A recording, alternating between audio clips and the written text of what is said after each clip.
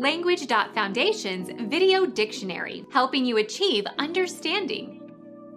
Anxious embarrassment.